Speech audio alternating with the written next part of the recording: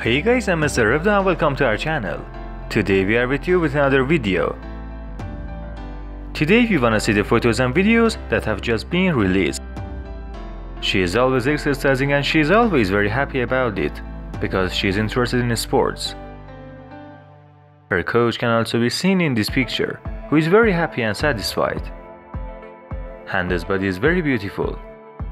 If another video is released, we will share it with you.